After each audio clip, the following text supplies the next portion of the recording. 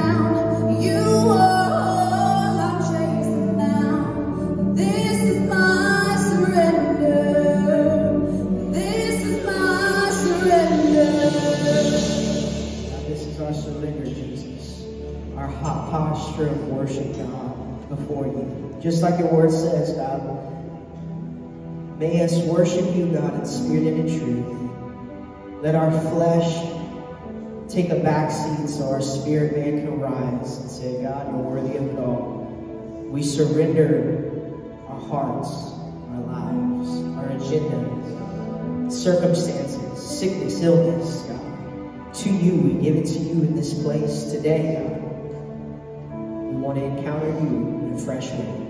In Jesus' name.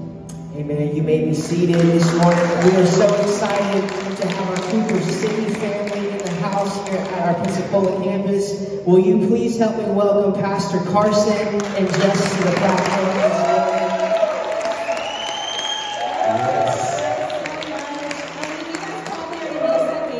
of course. But my name is Jess Gramling. This is Pastor Carson. He's my husband. We are a part of the staff team over in our potential church Cooper City campus. So we're honored to be here with you guys. And you guys have been so friendly, so welcoming. I love Pensacola. This is my first time here. And you guys really brought it. So thank you guys for welcoming us. Absolutely. Like she said, we are so excited to be here with you. And we've been given the honor and privilege in the really leading us into one of my favorite parts of service. We have the privilege of leading us in a time of giving. The reason this is one of my favorite parts of service can be found in a verse that we probably all know. It's not something crazy. It's not wild. You don't have to search very far. You probably all heard it. It's a very common verse. It's in John chapter 3, verse 16. It says, For God so loved the world that he gave his one and only Son. Whoever should believe in him will not perish, but have eternal life. I want to take just a moment to talk about the very beginning part of that verse. See, I found a new love. Something that I had never really gotten into in the past. If you know anything about me, I fall in love with stuff very quickly. Very quickly. And I fall out of love, not with my wife, all right? That has lasted. But with these hobbies that I pick up, I fall out of love with them just as quickly. See, one of the things that I've fallen in love with lately has been golf. All right, I never played golf growing up, and my dad eventually he took me out to play golf, and I've fallen in love with it. And can I tell you, it is not hard for me to find time to play golf. It's not hard for me to give up some things to make sure that I can have time to play golf. See, what the beginning part of that scripture is saying is for God so loved the world that he gave his one and only son. And what that's saying is that when we truly love something, deeply adore something, it always leads to an action. It always leads to giving. Right? If you love your spouse, no one has to tell you to give up time for them, or to give up finances for them, or give up uh, whatever it may be, because that love is true. That love, you adore that person. See, I think what happens with us a lot, at least with me, is that it's really easy during a worship song when I'm struggling and when things are hard to lift my hands and talk about God, I love you. Man, I can't tell you how much I love. It's overwhelming. I love you, God. And then he says, Well, if your love is true, then it will always lead you to an action. See, the reason this is my favorite part of service is because it's the time where God puts the mirror in front of us. He says, Hey, you've, you've been saying a whole lot that you love me, but right now I want you to I want you to see who you really are. Is that is that real? Is that true? Or is it just talk? This is this is the time where we got to get honest with ourselves. There's no more hiding behind any ideas or any words that we may say, but it's saying, hey, are you for sure? Are you really into what you say that you're into? And so as the ushers come forward, I want to lead us into a prayer for the giving. Dear Lord, we come to you now. Lord, I pray that we don't hide behind words. We don't hide behind worship songs pastors or anything like that, Lord. But I pray in this moment, as you put that mirror in front of us and you say, hey, are you really who you say you are? Do you really love what you say you love, or is it just talk, Lord? I pray that we get honest with ourselves. Lord, and that if that love is true, it will always lead to an action. In the same way that you loved us and gave up your son for us, as we love you, Lord, I pray that we are willing to give praise you. It's in your name we pray. Amen. Amen. As we give, let's check out this video together.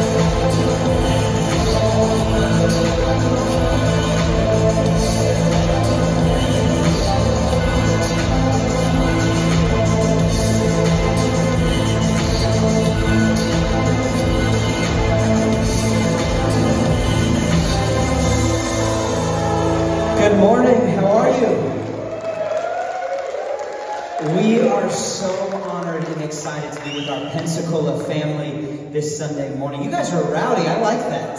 So much better than the Cooper City crowd. I- I'm just kidding. It's not a competition, but if it were, this Sunday you would be the winners. But my name is Tyler. This is my beautiful wife, Amber, and we are the Cooper City campus pastors. We also get the privilege of kind of helping spearhead the global vision of Potential Church all across the world. And uh, we are Pastor Troy and Pastor Steph, our global lead pastors. We're their oldest kids. And uh, we also have two kids of our own. They're here with us this weekend. We have a three-year-old son, Lion, that is all craziness, all chaos, all the time and our sweet little angel Luna, who is eight months old. Yes, you know, I'm really excited to be here at Potential Church Pensacola because if you didn't know, I was actually in my mama's womb at Potential Church. That's where it all started for me 30 years ago. You're like, wow. Either some of you are like, you're so young, or some of you are like, you're so old. Either or, it doesn't matter. I was in my mommy's womb at Potential Church. It all started at that time. It was Flamingo Road Church. And I love standing here today at Pensacola because 30 years ago, Potential Church Pensacola was not a thing. You know, it was Flamingo Road Church. It was one church on the corner of a street in, uh, in Cooper City, Florida. And over the past 30 years, through our lead pastors and the, our honor of our parents, um, it has expanded. And now we have our broadcast campus at our Cooper City location. We have our Potential Pensacola campus, and we have a campus all the way in Lima, Peru. Um, and it is just an honor that we get to stand here today and be able to worship together in one house under one God. And um, and it really is just a blessing. And, and when I think about the blessing, the verse that comes to mind is Psalm 118. And if you don't know, now you know. It says, Today is the day that the Lord has made, and I will rejoice and be glad in it. So I just want to encourage you today that today you were created for a purpose. If you are excited that you woke up with some breath in your lungs this morning, right? God has given it to you. So don't give up today. You are a part of an exciting house of God, and we are excited to be here to partner with you, and it is our honor to do so. So if you would, I would love the opportunity to pray for you as we dive into the message today. So if you would bow your head, get with God alone. Maybe share with him in this moment the burden that you walked in here with today. Maybe the battle or the struggle that you're facing. Maybe the thing that you really need to release to him in this moment. Allow him to do a work in you. Dear Heavenly Father, Jesus, we just thank you for this moment at Potential Church Pensacola, God. For every heart that's in this room, you brought them in here with breath in their lungs. God, we rejoice you today because you have made this day good and we will be glad in it no matter what is happening in our life, God. You have woken us up this morning with a purpose to chase after you. So we pray for whatever burden's happening in this room, God, whatever heart is struggling, wrestling, God, maybe with not knowing what their purpose is, maybe wanting to, to just end their life today, God, we just pray in this moment that you give them a sense of peace, that you speak to them. We pray over Pastor Tyler's message, that it hits home like never before, that people walk out of here encouraged and inspired and closer to you because of this house of God that we serve. And it's in Jesus' name we pray. Amen. Get up for my beautiful bride. What a great way to open up our time together. And you know, I just want to want to echo what she said. I really believe that the best days for our church and also for this city have yet to come. You know, Zechariah 4:10 says, "Do not despise the days of small beginnings."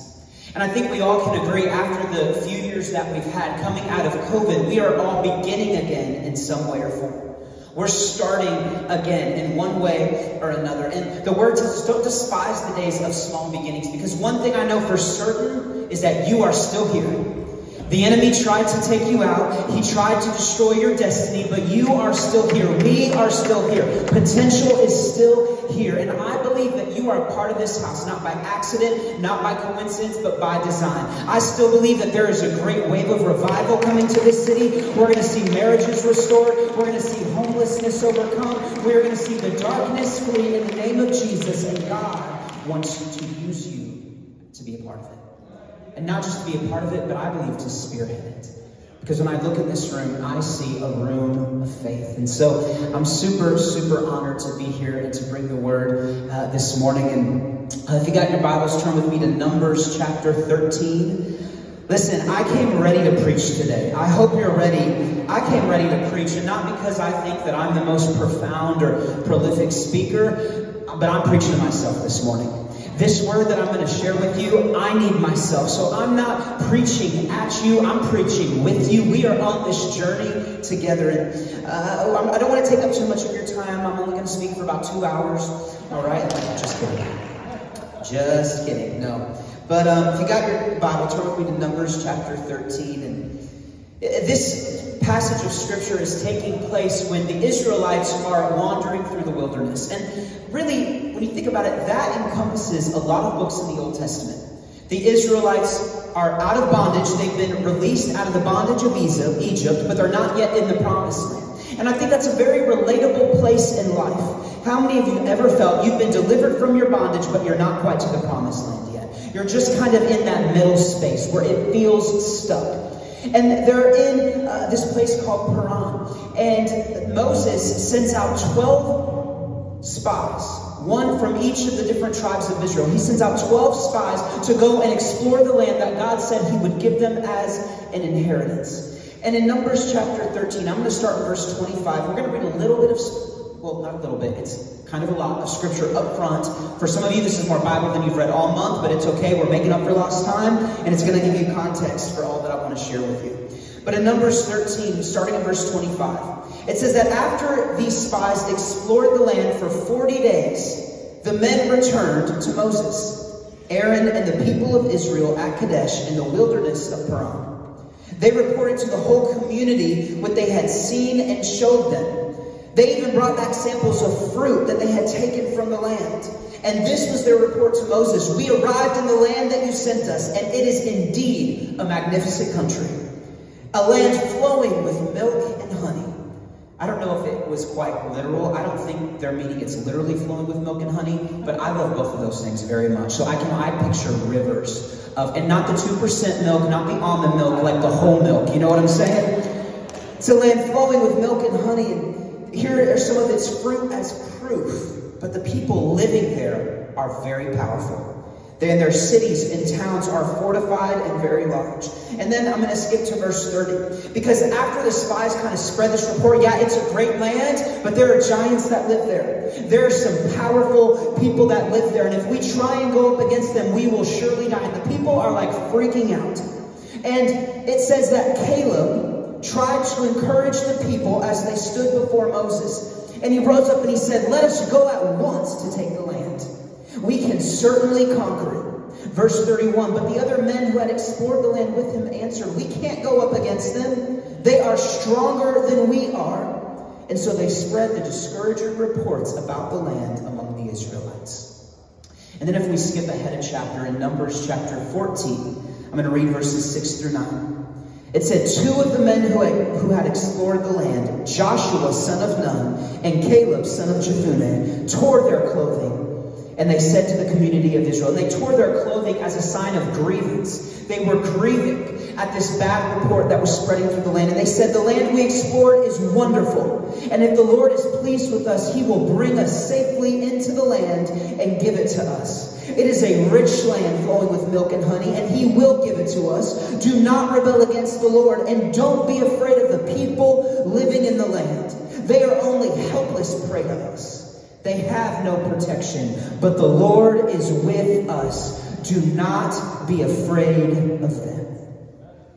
And I believe that that's a promise that we can hold on to today. And I know that we've already prayed over our service, but if we can just go to God one more time in prayer as we open up this word. God, I pray that this word uh, would release us, God into our full potential. I pray that you would remove every burden from our hearts and every distraction from our minds so that we can focus on what you have for us. Speak, Lord, your servants are listening. We did not come here to be entertained, we came to be transformed. And we ask that we would leave this place never to be the same again. And it's in Jesus' mighty name that we pray. Everybody said, Amen. So I have a question for you.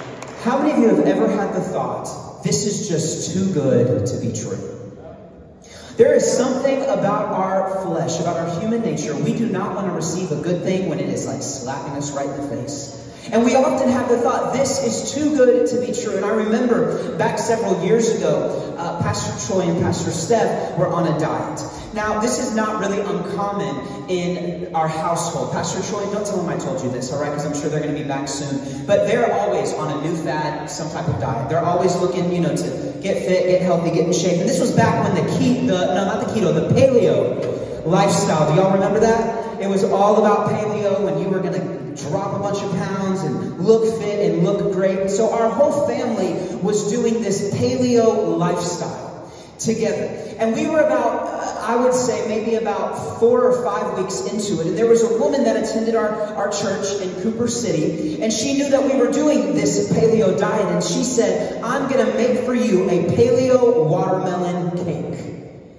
And we all interpreted that as, and you know, a moist, delicious, watermelon flavored cake that is also paleo. Low calorie, low carbs, no sugars, and I'm telling you, for an entire week, we were excited about this watermelon cake. It is all we could talk about. We were looking forward to it. I mean, we remember we hadn't had any type of sugar, any type of frosting. You know, we, we I don't know about you, but we like sweets in the Gramling home. And so we were looking forward to this. We could not wait. She brought it to church and we said, we're not going to eat it here. We're going to take it home. And we are going to cut into this thing and enjoy this watermelon flavored cake. It was beautiful. It was big. It was scrumptious. It was covered in white frosting. And after church, we get home and we cut into that thing. And instead instead of finding a beautiful, moist, delicious cake, it was kind of hard. And we cut into it and realized this is not a watermelon flavored cake, this is actual watermelon. With some Cool Whip kind of frosting on top. And I will tell you, it was the, the most disappointing thing that I might have ever experienced in my life. I'm not a fruit person. I mean, I like fruit flavored things, but I don't like actual fruit. And so I was looking forward to this watermelon flavored cake only to cut in and find all the seeds and all the juice and see, oh, she meant an actual watermelon. We were so disappointed.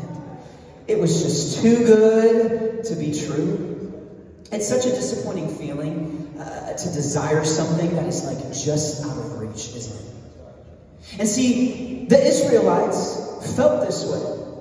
I mean, God had led them through the wilderness. They were literally right there, ready to inherit the land that God had promised them, only to find out that somebody else was inhabiting it.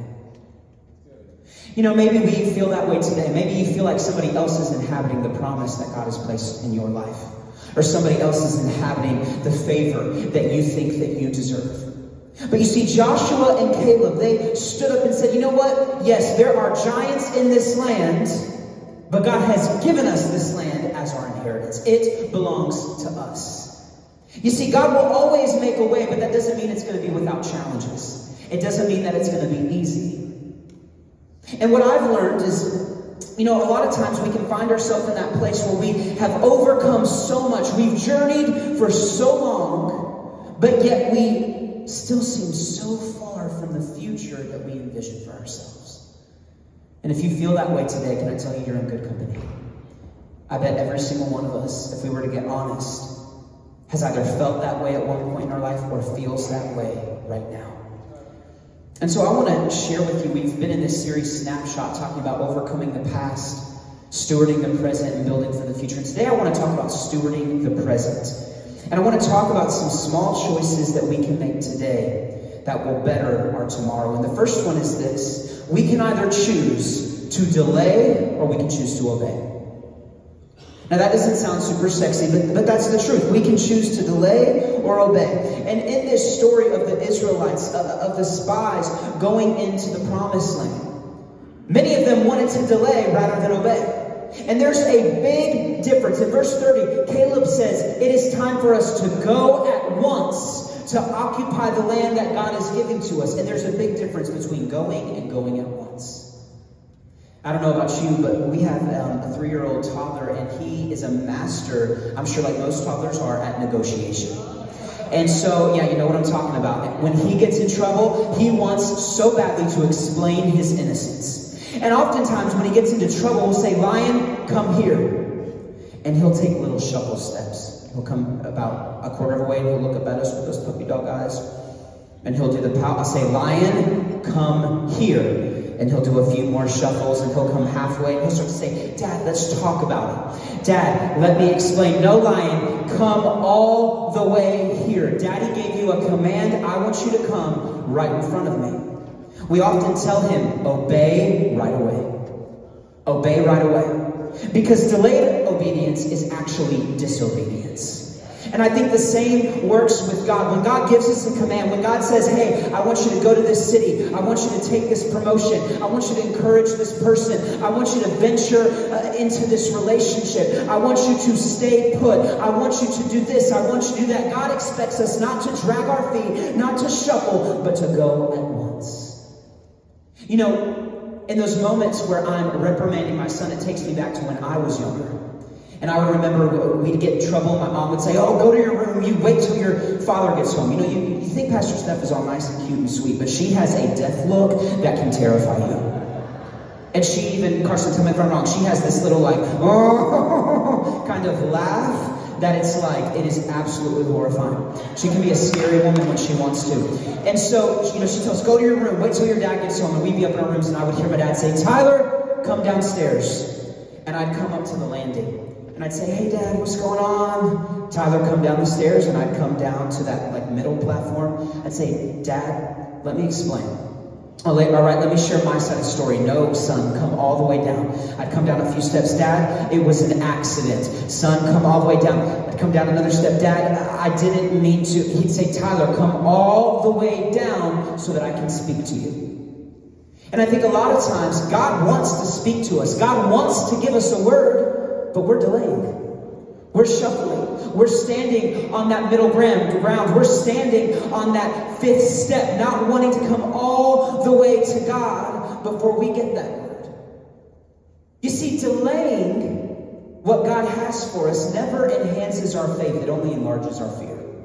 When, when, when I would wait to come to my Father, when I was reprimanded, it never gave me courage, it only made me more afraid. It only gave me more anxiety. You see, the delay never enhances our faith. It only enlarges our fear. And we can't expect to be staring at the bottom of the mountain and the mountain to get smaller. That never happens. The longer you stare at a mountain, the larger it becomes. I preached in my message a few weeks ago at our Cooper City campus that a mountain is only a mountain when you're staring at it. But when you start climbing it, you see that it's actually your stepping stones. The delay never enhances our faith, it only enlarges our fear. And when we hesitate, when we delay, when we put off the word that God has laid on our heart, when we put off that directive, that command, we won't receive any of the blessing because you can't be halfway in, one foot in and one foot out and expect to receive God's full blessing. You know, Revelation chapter 3, uh, verses 15 through 17, this is the message translation, says, uh, God saying, I know you inside and out. And I find little to my liking. Ouch. Somebody say, ouch. He says, You're not cold and you're not hot.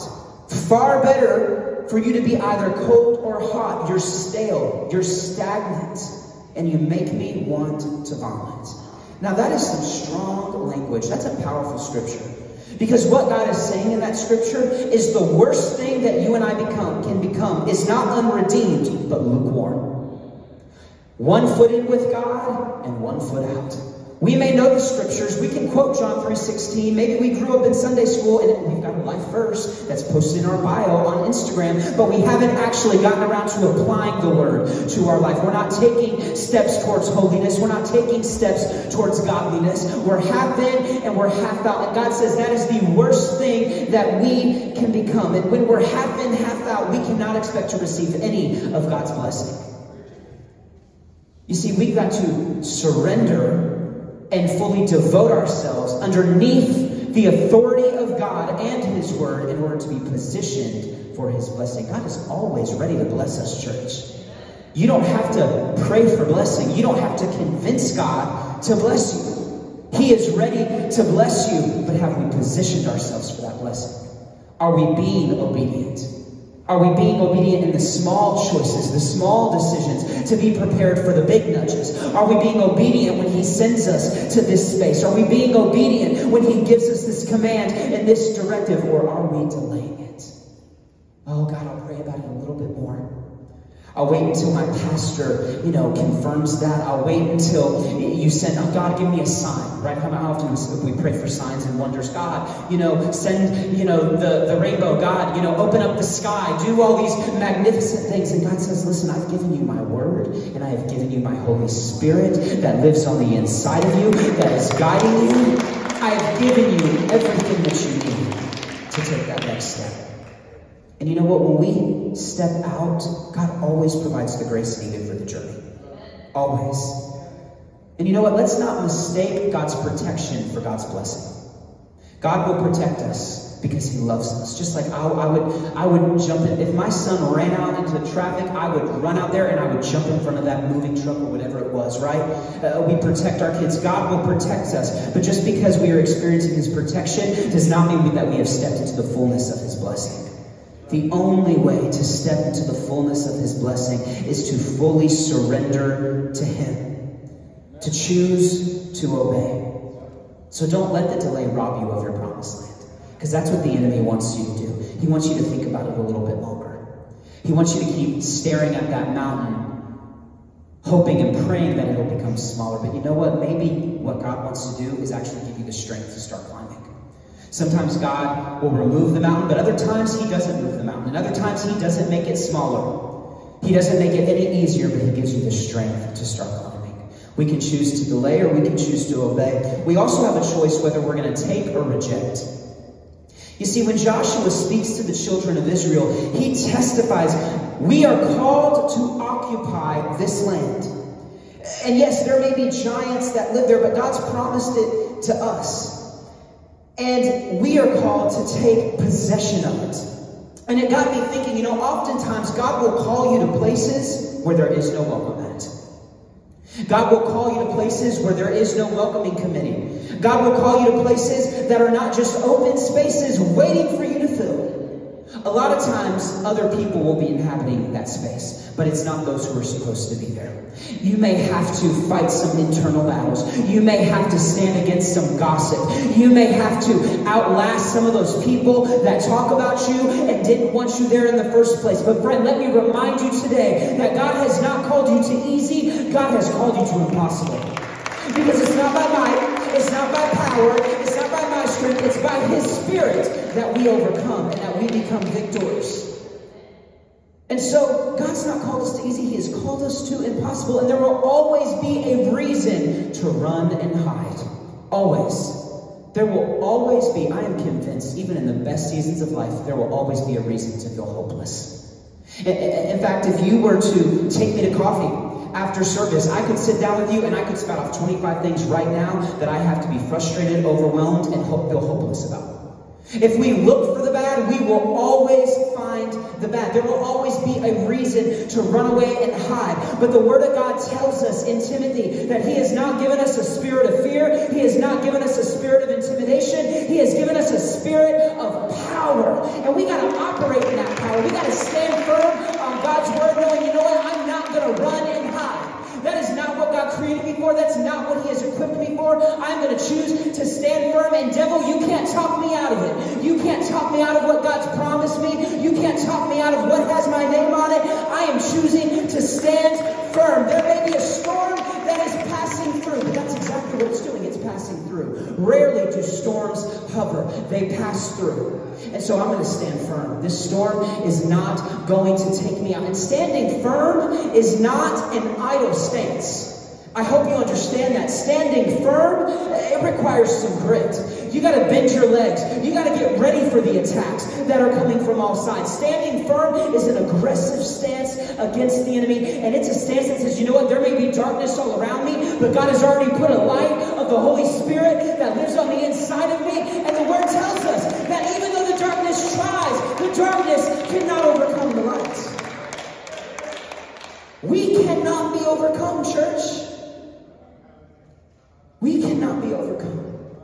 So we can't live in fear. We got to choose to take possession of the promise, take dominion of the destiny that God has before us. You know, we're not supposed to look like the rest of the world. I think a lot of times, as Christ followers, we try to fit in because we don't want to be weird and we don't want to be judged and we don't want to be critiqued and we don't want to be criticized, right?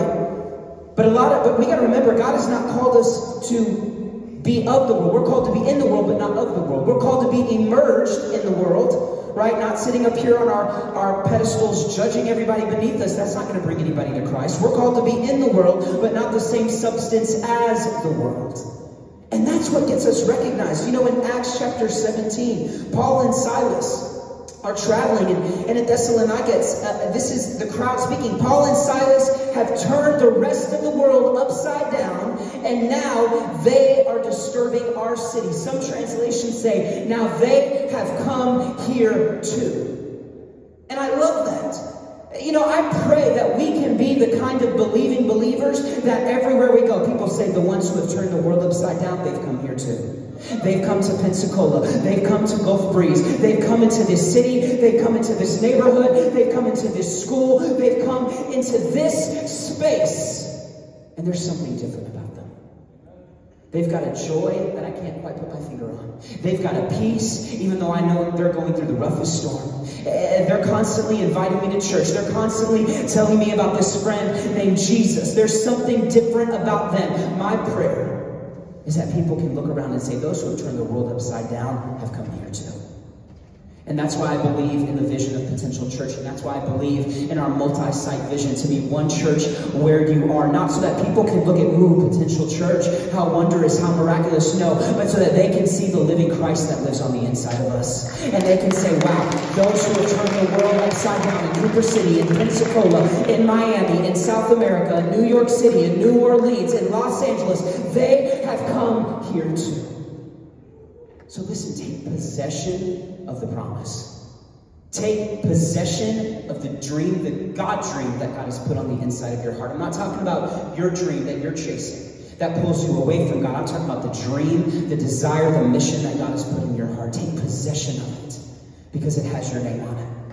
And where I want to close this today is we have a choice either to see the obstacle or to see the promise. Or you might say we have a choice to either see the obstacle or see the miracle. And if we reread verses 27 through 28 in Numbers chapter 13, right, the, Joshua and Caleb gave a good report, but 10 of the spies, remember there were 12, 10 of them were so fearful. They only saw the obstacle and they couldn't see the promise. Their view was so obstructed that they could not see the very thing that God wanted to bless them with. They saw that it was a good land. They saw that it was abundant. They saw that it was great, that it was beautiful, that it was everything that they could hope or dream of. But yet, all they could focus their attention on was the giants that lived there. So much so that they couldn't see the promise that God wanted to bless them with. But see, Joshua and Caleb saw things differently. You might say that they saw it from a different perspective. They were looking through a different lens. See, they saw what God saw. They saw that this is an exceedingly good land. They saw abundance, not lack. They saw victory, not defeat. And none of this had manifested in the physical. They were looking to the spiritual. They were looking to the supernatural because they knew that their God was a supernatural God. They saw what no one else saw. They saw what God saw. And my question to you today is what do you see? When you look at the challenge in front of you, when you look at the dream that God's placed in your heart, when you look at your ministry, when you look at your family, what do you see? Do you see the pain and the suffering, or do you see the promise of God? Because within every single tragedy, there is a treasure. Joshua and Caleb saw what God saw, and they didn't know at the time why God was sending them to this land. Listen, God didn't need them to go explore the land because God needed. God already knew what the land looked like. He already knew uh, what the crops were like. He already knew that there was a harvest ready to be picked. God didn't send them because He needed the report. God was putting out a leadership test to see who will see what I see. I know that there's suffering. I know that there's giants. I know that there's battles that have to be overcome. But who will see what I see? Because I see a harvest that is ready to be picked. I see a fruitful land. I see overcomers. A generation that is being built up on a firm foundation. Who will see what I see? You know what? I think when God looks into this room right now, I think that God sees a group of warriors. Because that's what I see. I see a group of warriors. I see some people that have been through some things. I see some people that have lived a lot of life and have earned a lot of wisdom because how many of you know wisdom doesn't come for free? Wisdom is hard earned. That's what Proverbs says. Uh, I see a group of overcomers. I see a group of faith filled people that are ready to stir up the community and the space around them. And I love what 1 John 5, verse 4 says. It says, The conquering power that brings the world to its knees is our faith. How amazing is that? The conquering power, the power that overcomes every challenge, every burden, every distraction, every setback, every frustration, every disappointment, and brings the world to its knees is our faith. Something that cannot be seen, but it can be felt. You see, when you get on your knees, it's actually a very humbling posture. And when I think about how my God journey began, this is where it began, was on the knees. I remember being seven years old at a small church that my parents had planted in a town, Paragould, Arkansas. I'm sure you've been there, there's lots to do. No. Small town, small church. And I remember sitting in that auditorium. I got to travel back there recently for my grandfather's funeral, and I got to go back to the exact place where I met Jesus. I can tell you everything about that moment.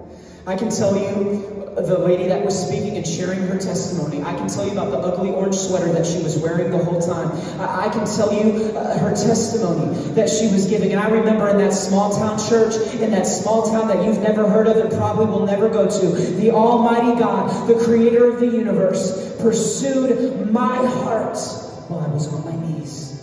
And some of us, we just need to get back to this stance today. We've been standing on our own two feet. We've been trying to do it in our own strength. We've been trying to work it out in our own minds, in our own strength. And we just need to get back down on our knees before God. Because right where our faith begins is where it sustains. The decision I made on that day is still the very same decision that sustains me today. The truth that I came into knowing that there is a God that loves me, there is a God that called me, there is a God that created me for a purpose. That same revelation that I got at seven years old is the same revelation I have today. It's the same faith that keeps me going. And we are called to have a faith that brings the world to its knees. And I see that kind of faith in this room. I see a faith that has the power to dismantle the darkness. I see a faith that has the power to change the culture in this city. I see a faith that has the power to put the devil to shame and overcome every one of his schemes. I see the faith that can pull down strongholds. I see a faith that can defeat addictions and insecurities and lies from the enemy. I see a faith in this room that has the power to bring the world to its knees and compel people all across Pensacola, Cooper City, South America, Miami to say those who have turned the world upside down have come here too. So stay obedient and stay the course.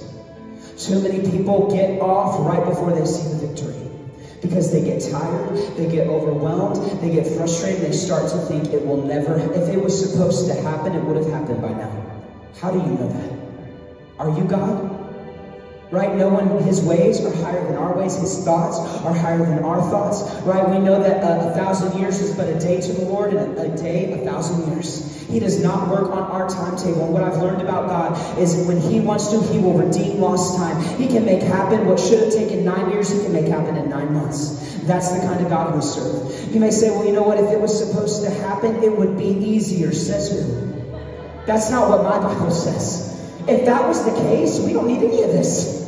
If it was supposed to be easy, we don't need any of it. You know what? God gave us His word to encourage us, to remind us to stay steadfast to be encouraged, even we have every reason to be discouraged, to praise Him, to worship Him, to shout His praises from the mountaintop, even though we're living in the valley. Stay strong, stay steadfast, choose to be obedient in the now. Because how you steward the present, the small decisions you make today, whether to go or whether to stay. And sometimes God asks us to stay. I was uh, um, uh, talking to one of the young adults at our Cooper City campus last week that's working at Chick fil A, and they were just going on a rant about Chick fil A. And I was like, oh my gosh, I thought they're supposed to love Jesus. And she was just ranting. She's like, I just need to get out of there. And I said, hold up. Maybe you don't just need to get out of there. Maybe you don't just need to get out of the frustration or the suffering. Maybe you actually need to submit under it. Because God will not always pull us out of it. Sometimes He wants us to remain so that we can learn who He is. You know how I discover the different names of God? By experiencing them. You can't know him as Jehovah Jireh, your provider, until you have a need and he provides for you. You can't know him as Jehovah Rapha until you've been sick and you need his healing. You can't know him as El Shaddai until you experience him showing up in your life in a mighty and powerful way. Sometimes we got to submit to that suffering so that we can really get to know who God is. So, friend, be strong, obey, take, and see the promise that lies within your obstacle. Will you bow your heads with me? God, we thank you for your word. My words are never enough, but your word has stood the test of time. It can be trusted. God, it is our saving grace. It is your promise over our life. It is your love letter to us. So, God, we receive this word, not just in our minds, but in our hearts, because the devil is not afraid of us coming and hearing the word. He's afraid of us applying the word. He's afraid of us actually living out what we have heard and received today. So, God, I pray that this word would take root in our hearts. I pray that it would work its way out into our behaviors and actions, God. I pray from a revelation of the Holy Spirit, God, that we would be obedient today, knowing that the decisions we make today set us up for tomorrow. God, we know that you have created us on purpose, for a purpose, and I just speak life over every single person in this room.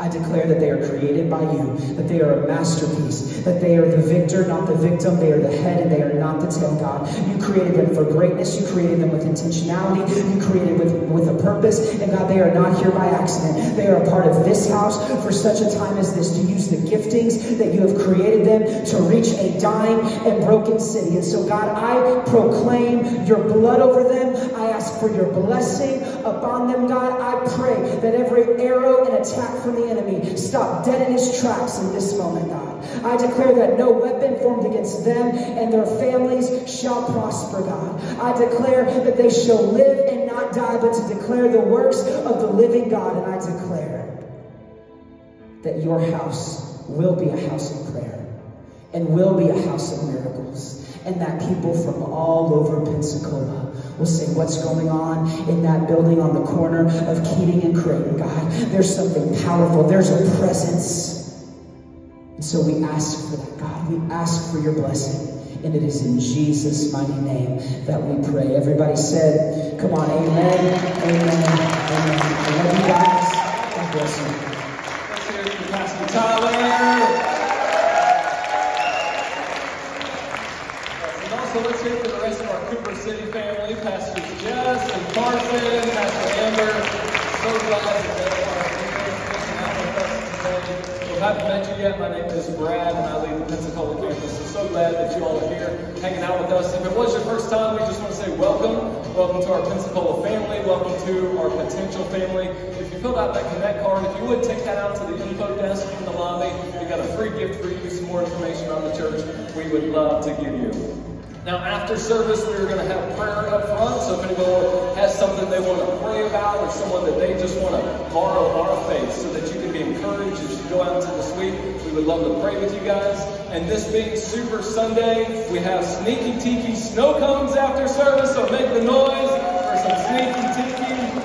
It's going to be awesome. So right after service out front, feel free to grab snow cones. It's our way to say thank you so much for hanging out with us this weekend. Well, as we wrap up the service, let me pray God's blessing and speak His word over each and every one of us. The Bible says, 2 Chronicles 7:14, if my people who are called by my name will humble themselves and pray and seek my face and turn from their wicked ways, then I will hear from heaven forgive their sins and heal their land. So, Father, we pray a blessing over each person here. And Lord, we claim revival. A great wave of God is coming to Pensacola, and we are positioning ourselves for more of your presence as we see this city radically turned upside down for your glory. It's in Jesus' mighty name. All God's people said, Amen. Amen. Y'all have an amazing week, sure to show some Southern hospitality to our Cooper City friends before you guys leave. God bless you guys. Have a great week.